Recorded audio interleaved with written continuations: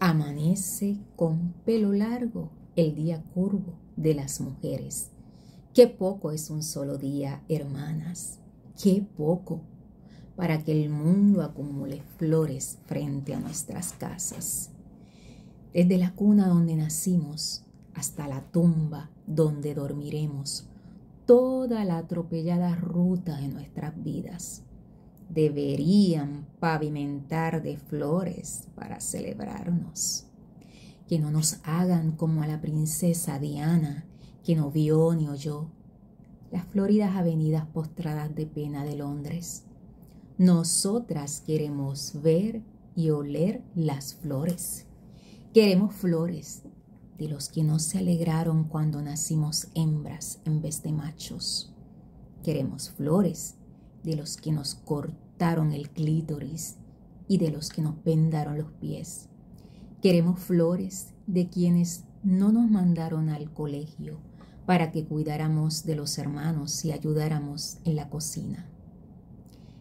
Flores del que se metió en la cama y nos tapó la boca para violarnos mientras nuestra madre dormía.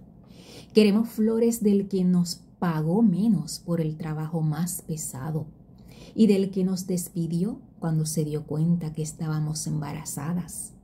Queremos flores del que nos condenó a muerte, forzándonos a parir a riesgo de nuestras vidas. Queremos flores del que se protege de su mal pensamiento, obligándonos al velo y a cubrirnos el cuerpo del que nos prohíbe salir a la calle sin un hombre que nos escolte.